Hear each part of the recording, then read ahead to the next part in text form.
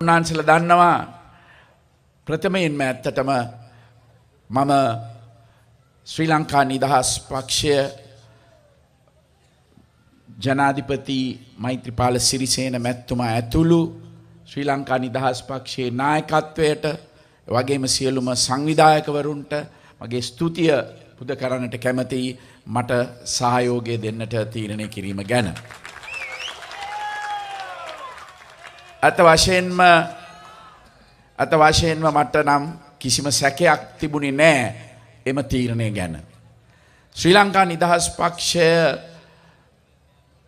මගේ ප්‍රතිපත්ති ප්‍රකාශනයට කිසිසේත්ම විරුද්ධ වෙන්නට පුළුවන් කමක් නෑ. මංහිතන්නේ අපි දේශපාලනය කරන්නට ඕන ප්‍රතිපත්ති මත. ශ්‍රී ලංකා නිදහස් පක්ෂය ආරම්භ වෙනකොට එක්දස් නමසය පනස් එකේ බණ්ඩාර්නායක මහත්මයා එක්සත් ජාතික පක්ෂයෙන් පාලිමේන්තු ඇතුළේ විරුද්ධ පක්ෂයට යනකොට ප්‍රථමයෙන්ම ගිය පුද්ගලය තමයි මගේ පියා ඩිය රාජපක්ෂ මැත්තුම. මම එක දවසක් ඇත්තටම එතුමගෙන් ඇහුවා ඇයි එදා බණ්ඩාර්නායක මහත්මැත් එක්ක විරුද්ධ පක්ෂයට ගිය කියල. එතුමා කිව්වේ ඩස් සෙනනායක මැත්තුමා. එතුමාගේ හොඳ මිත්‍රයෙක් වුණත්. එතුමට ගරු කරත්. ප්‍රතිපත්ති වශයෙන් එතුමා බණ්ඩාර්නායක මැත්තුමා ඉදිරිපත් කළ ප්‍රතිපත්තිවලට ගරු කරා කියන. ඒ ඉතිහාසේ ඉන් පසු එක්දා සමසය පනස් දෙකේ තිබුණු මැතිවර මහා මැතිවරණයේදී. ශ්‍රී ලංකා නිදහස් පක්ෂය ලබාගත්තේ ආසන හතයි එයින් එකක් මගේ පියා. එදා ඉඳලා ශ්‍රී ලංකා නිදහස් පක්ෂය ජයග්‍රහණය කිරවීමට. පිදන්නවා එක්දස් නමසය පනස් හයේ ශ්‍රී ලංකා නිදහස් පක්ෂය සහ මහජනෙක්සත් පෙරමුණ එදා ඒ විප්ලවය ඇතිකරහින්ද තමයි අද මේ රටේ විශේෂයෙන්ම ග්‍රාමීය ජනතාවට දුප්පත් ජනතාවට අද හිසෝසවල ඉන්නට පුළුවන් වෙලා තිබෙන. අපේකම අපේ සංස්කෘතිය දේශීයත්වය මේවා මේ රටට හඳුන්නා දුන්නේ ශ්‍රී ලංකා නිදහස් පක්ෂය. එදා විදේශිකයන්ට අයිති වෙලා තිබුණු වරායවැනි ස්ථාන ජනතාවට අයිති කළ දුන්නේ ශ්‍රී ලංකා නිදහස් පක්ෂය. එදා බස් ජන සතුව වැනි ප්‍රගතිශීලී සමාජවාදී ක්‍රියා සියල්ලක්ම ජනතාව වෙනුවෙන් එදා ගත්තේ ශ්‍රී ලංකා නිදහස් පක්ෂය. ඇතින් බණ්ඩාර්නායක මැත්තුමා එදා ගෙන ගිය ප්‍රගතිශීලී ප්‍රතිපත්ති නිසා තමයි අද විශේෂයෙන්ම ග්‍රාමීය ජනතාව ඒ දරුදරුවන් අද ඉහළ තත්ත්වයකට ගෙනහිල් ගිල්ල හොඳ අධ්‍යාපනයක් ලබල හොඳ තනතුරු අද රටේ උසුලන්නේ ඒ එදා කරපු විප්ලවය නිසයි.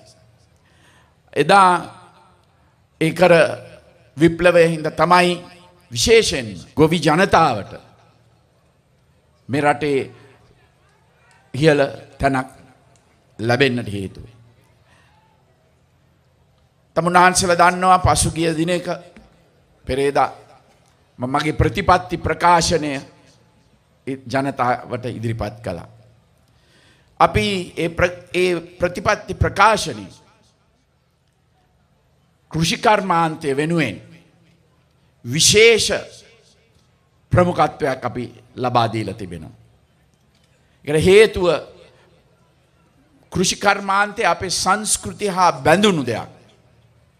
ඉතිහාසය හා බැඳුණු දෙයක් තමුන්නාන්සල දන්නවා. මේ කෘෂිකර්මාන්තය අපි ඉදිරියට ගෙනයා යුත්තේ ඉදිරියේදී අපේ රට පමණක් නෙවෙයි මුළු ලෝකේම ආහාර සුරක්ෂිත භාවය ඉතාමත්ම වැදගත් වෙනවා. අපි ආහාරවලින් ස්වම්පෝෂිත විය යුතුයි. අපිට පුළුවන් කමක් නෑ පිටරට දිහා බලාගෙනන්නට. විශේෂයෙන්ම සහල්වලින් ස්වාම්පෝෂිත වීම සඳහා අපි පොහොර සහනාධාරය නොමිලේ ලබා දෙන්නට තීරණය කල්ලා තිබෙනවා.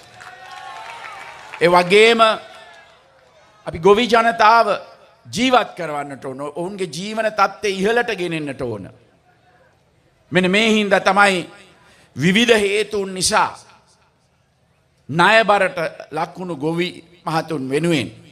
ඒ ණය ගොවි ණය අපි සියල්ලම කපාහරින්න අපි තීරණය කල්ලා තියෙනවා. එවගේම වී වෙනුවෙන් තමුන්නාන්සල දන්නවා අපි ස්තිර සාතිකමිලක් දෙන්නට අපේ ප්‍රතිපත්ති ප්‍රකාශනයම අපි ඇතුළත් කල්ලා තිබෙනවා. ඒ වගේම කෘෂි කර්මාන්තය වැවිලි කර්මාන්තය අපි දේශීය ගොවිය සාල් වේවා කිරි ගොවියා වේවා. වෙනත් බෝග ගම්මිරිස් වැනි බෝග ගොවියා වේවා. වගේම තේවැවිලි කර්මාන්තය වේවා. මේ සියල්ලක්ම ආරක්ෂා කර ගැනීමට දේශීය ගොවි ආරක්ෂා කර ගැනීමට අපි විශේෂයෙන්ම වැඩ අපේ ප්‍රතිපත්තිය අපි පැහැදිලිව ප්‍රකාශ කල්ල තිබෙනවා. එනිසා අපි බලාපොරොත්තු වෙන්නේ ගොවියාව ජීවත් කරන්නට. ගොවි ජනතාව ජීවත් කරන්නට. පිදන්නව හැමදාමත් ගොවි ජනතාව පිට සාල් අපි ස්වයම් පෝෂිත කරත් හැමදාමත් දුප්පත්. අපි මේ තත්ත්වෙන් ඉහලට ගන්නට ඕන ගොවියාව. අපි අපේ ප්‍රතිපත්ති ප්‍රකාශනය පැහැදිලිව සඳහන් කරලා තිබෙනවා. නවතාක්ෂණය අද ලෝකයේ නවතාක්ෂණය තියෙනවා අඩු වියදමක් දරලා අඩු භූමි ප්‍රමාණයකින් වැඩි අස්වන්නක් ලබාගෙන වැඩි ලාභයක් ගොවියාට ලබාගන්න අද තාක්ෂණය ලෝකෙම තියෙනවා. තාක්ෂණය අපි හඳුන්නල දෙන්නට ඕන අපේ ගොවි ජනතාවට. අපි ගොවියා අපි ආහාරවලින් ස්වම්පෝෂිත වෙනවා වගේම ගොවියා ජීවත් කරවීමට ඔවුන්ට වඩා හොඳ එහෙම නැති වුණොත් අපේ අපේ පරම්පරාවන් ඉදිරි පරම්පරාවන් පෙ තරුණ තරුණයන් කෘෂිකර්මාන්තයට යොමු කරන්නට පුළුවන්කමක් නැති වෙනවා. ඔවුන්ට මෙය අභිමානවත් ව්‍යාපාරයක් ලාභ ලබන ව්‍යාපාරයක් ඔහු විවසායකෙක් ගොවියාව ව්‍යවසායකෙක් කරන්නට අපේ ප්‍රතිපත්ති පාත් ප්‍රතිපත්තිවල අපි සඳහන් කරලා තිබෙනවා. අපි විශේෂෙන්ම කෘෂිකර්මය සම්බන්ධයෙන් ඇති කරන නව ව්‍යාපාර විවසායකයන් කර්මාන්ත එවාගේම උපකරන මේවා යන්ත්‍රෝපකරන මේවා අපි මේවා බදුවලින් අපි නිදහස් කරලා තිබෙනවා ගොවි මේවා දිරිමත් කරන්නට. මේ සෑම තමුන්නාන්සල දන්නවා මේ පලාතේ නැති වුණත් අද මම ගිය පලාත් කීපයකම ගාලු දිස්ත්‍රික්කේ වේවා මාතලේ දිස්ත්‍රික්කේ වේවා නුවර දිස්ත්‍රික්කේ වේවා. ගම්මිරිස් ගොවියන් විශාල ප්‍රමාණයක් ඉන්නවා. අද අතරමං වෙලා. පිටරටවලින් ගුණාත්මක භාවයෙන් අඩු ගම්මිරිස් ගෙනල්ල. ඒවා ඒ නිසා ප්‍රතිඅපනයන කිරීම නිසා අපේ ඒ බෝග වවන ගොවියන්ට ඉතා අපහසු තත්ත්වයක් වෙලා තිබෙනයි හරි මුදලක් ලබා ගන්න. පිට පැහැදිලි ක්‍රමවේදයක් අපි ඉදිරිපත් කල්ල තිබෙන ඔවුන් ආරක්ෂා කරගන්නට. මේ ආකාරයට අපි විශේෂෙන්ම ගොවි ජනතාවගේ තියෙන ප්‍රශ්න පිළිබඳව පැහැදිලිව අපිට දැක්මක් තිබෙනවා. අපි ඇත්තනම පසුගේ අවුරුදු හතර තුළ මෙරට ඉන්න වෘතිකයන් බුද්ධිමතුන් ව්‍යාපාරිකයන් එකතු කරලා අපි මේ ජනතාවගේ තියෙන ප්‍රශ්න හඳුනාගත්තා. ඒවට විසඳුම් අපි සෙව්වා. ඒවා තමයි අපි ප්‍රතිපත්ති මාලාවක් හැටියට ඉදිරිපත් කල්ලා තිබෙන්නේ. විශේෂයෙන්ම අපි අධ්‍යාපනය වෙනුවෙන්. විශාල ආයෝජනයක් අපි පළවෙනි අවුරුද්ධම ඉඳල කරනවා. ගුණාත්මක අධ්‍යාපනයක් අපේ දරුවන්ට ලබාදිය යුතුයි. තමුන්නාන්සල දන්නවාද තරුණ තරුණයන්. මෙරට එසියට විසිතුනක් පමණවන තරුණ තරුණයන් ද විශාල අසාහනයකින් ඉන්නේ. ගුණාත්මක අධ්‍යාපනයක් නැති නිසා හොඳ රැකියාවක් ලබාගන්නට පුළුවන්කමක් නෑ. ඒ වගේම විවිධ අවස්ථාවල විශ්වවිද්‍යාලයට ගිහිල්ලා සමහරවලට ආර්ථිකයට කෙලින්ම සම්බන්ධ වෙන්නට බැරි. උපාදී ලබාගෙන රැකියාවක් හොඳ රැකියාවක් ලබන්නේ නැතුව අසාහනයෙන් ඉන්න අය. වගේම ලක්ෂ දෙකක් පමණ තරුණ තරුණියන් උසස් පෙළ සමත් වෙනවා. එයින් තිස්පන් දාහකට වැඩිම වශයෙන් තිස් පන්දාහකට පමණයි උසස් අධ්‍යාපනයක් ලබා ගන්නට පුළුවන් වෙන්නේ. ඉතුරු අය අතරමං වෙනවා. එවගේම අසමත් වෙච්චාය සාමාන්‍ය පෙළ සමත් වෙලා කරන්න දෙයක් නැතුව ඉන්න අය මේක හොඳ දෙයක් නෙවෙයි. අපිට කිසිසේත්ම මේක පිළිගන්නට බෑ. මේ අපේ පරම් ඉදිරි පරම්පරාව. අපේ අනාගතය.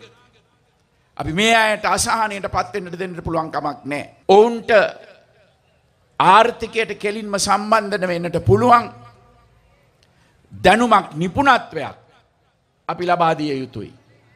විශේෂයෙන්ම සියලුම උසස් පෙළවෙන සමත් වෙන ශිෂිෂාවන්ට උසස් අධ්‍යාපනයක් ලබාදීමට අවශ්‍යදේ අපි පළවෙනි අවුරුද්ධ ඉඳලම ශාලාත් ආයෝජනයක් කිරීම තුළින් විශ්ව දැනට තියෙන විශ්වවිද්‍යාලවල ධාරිතාව වැඩි කල්ලා එවගේම අලුතෙන් විශ්වවිද්‍යාල ඇති කල්ලා කාර්මික විද්‍යාල තාක්ෂණික විද්‍යාල ඇති කල්ලා වගේම ආචාර්යවරුන් බඳවගෙන පාඨමාලා වෙනස් කල්ලා අපි මේ තරුණ තරුණයන්ට ආර්ථිකයට හොඳ රැකියාවක් හොඳ වේතනයක් ලැබෙන රැකියාවකට අපි ඔවුන්න පුහුණු කරන.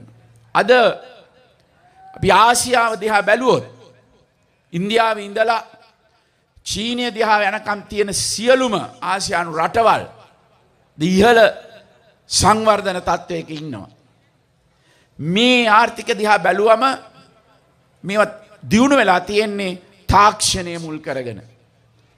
බුද්ධිය මුල් කරගෙන. මේක හොඳ අවස්ථාවක් අපිට.